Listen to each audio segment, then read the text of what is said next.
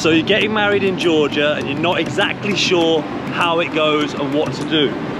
Well, consider me your guide. My name is Matt and I'm going to today help you understand exactly what the process is for getting married here in Georgia as a foreigner.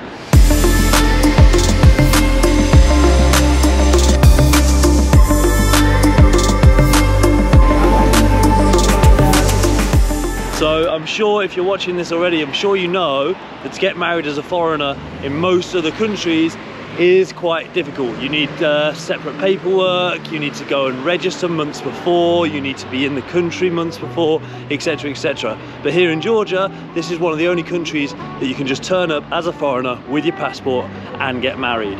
So we're going to take you on that journey now.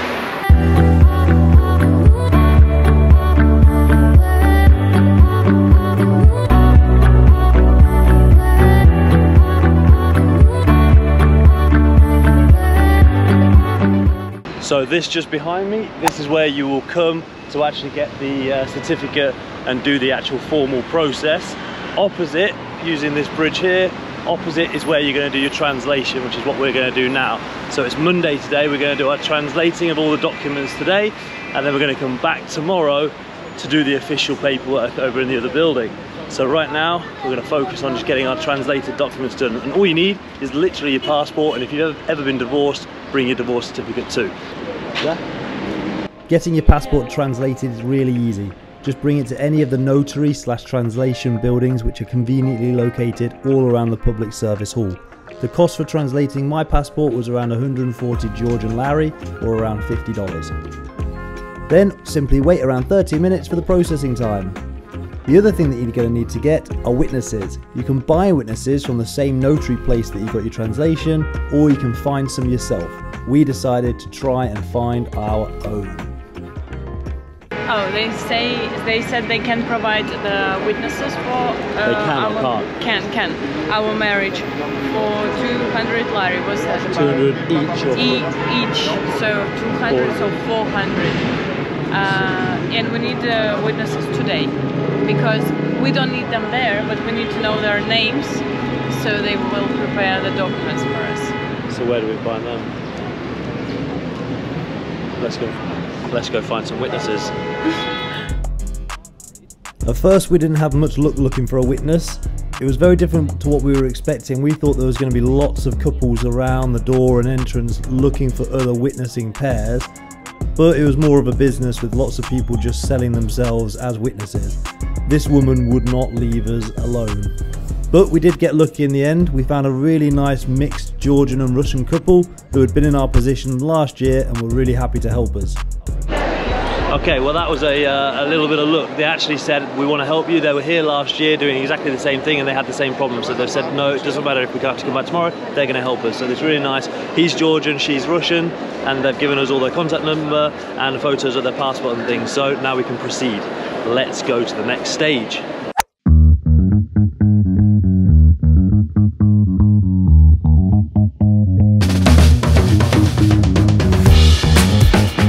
Step is to go and get a number from the front desk and go and see one of the many helpers here in the public service hall. Okay, we've come this far and I am not dressed in anything smart, nor is Kiss really, uh, but we didn't realise we were going to be getting this far today. We were just going to get our translation, but it turns out you're much better to come and do your translation and your pre-registration all on the same day. Otherwise you'll have to do three days, your translation, your pre-registration, your signing, and then actually you're picking up as well, so it turned into four days. Now we're just doing hopefully in two. There's no specific area for weddings. We actually ended up in a zone where the couple next to us were filing for a divorce. Romantic. Everything was going really well until. Okay, well we've been rejected because my translation was wrong. If you look at this, you can see that my date of birth is 10th of 10th 87 and they put it as 10th, uh, where is it, there you go, so they put it as 4th of something 89 and that line above it also circled, and the line above it also circled says that I'm from Iran and obviously I'm from England. And we went to the place that was regarded as being the best but it's just really hard. We, we did skim read our, uh, our translation, but you can't read it. It's particularly the one where it says where you're from. Uh, the dates, you don't know what it references, so anyway, over the, over the bridge we go, change that back, and then we have to go back, get in the same half an hour queue again. But it does close at six o'clock. We thought it was four o'clock, and it has just ticked over four o'clock, so we have got a couple of hours, but it is certainly annoying. Oh, Meet my Iranian husband. Apparently, this mistake is common, so we just nipped back across the road and asked the people in the notary to change it for us.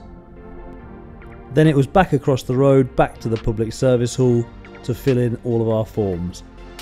All we needed was the translation of our passports and our witnesses' passports. You don't actually need your witnesses there until the day you're collecting, so for this first day, all you'll need is their passports.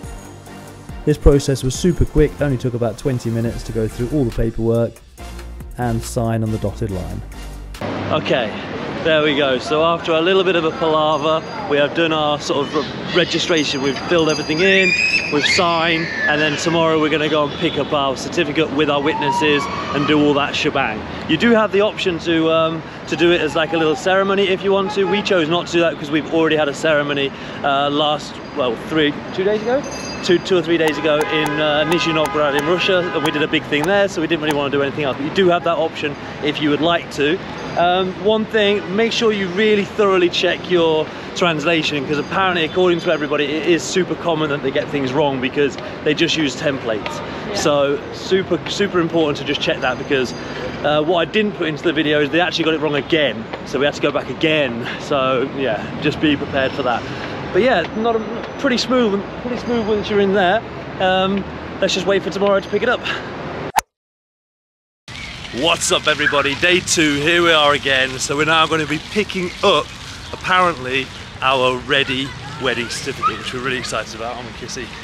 I'm so excited about it. I'm just very worried that it's gonna have no S on the end of the surname. Yeah, so we're a bit worried about the translation of my surname Roberts because uh, when they when we put it on Google Translate, it said Robert, and they were saying no, no, it's fine, it's fine, but It's gonna have S. we just know it's not going to have the S. Yeah. Um, so we need to meet our witnesses that we met yesterday, and then let's get this show on the road. Okay, so normally the process works that they send you an SMS text message to let you know when uh, your certificate is ready to be signed with your witnesses. But if you're not a Georgian citizen and you don't have a Georgian SIM card, you're likely to not receive that SMS. So they just say to come back the next day after 3 p.m., which is what we've done now, uh, to find out if it's ready. So ours is ready. So now we have to call our witnesses back and wait for them to get here before we can do the signing of the certificate and receive the certificate. So we're just waiting for that now. So, unfortunately, as a tourist without a local SIM card, we had no way of receiving the text message to let us know when it was ready, so we had to just keep going back and forward and asking if it was ready yet. We had a couple of times where it wasn't ready, and eventually it was.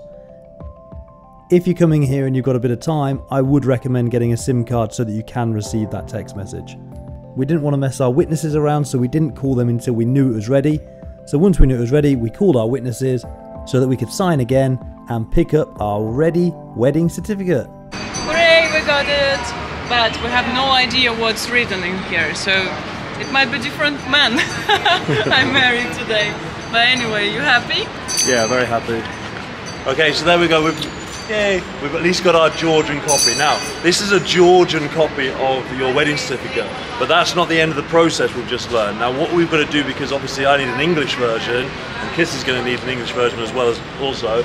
Um, so you have to then get it apostilled, which is like an official stamp to say that it's been done here, and then uh, translate it. Now you can go other places and do that. You can go to your own concert, you can go to the translation centres around, but we've decided to do it here 'cause it's only a little bit more expensive. It's 270 local uh, lari, but that's about 80 pounds For express service. for the express two service two days because we couldn't wait the eight days that it was it could have been which would have been a lot less.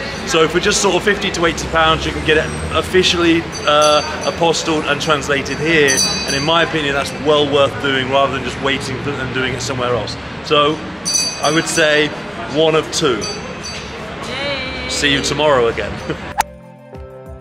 So after a couple of days wait, we're back at the public service hall and we picked up our translated wedding certificate. And there you have it. That is how to get married here in Georgia as a foreigner.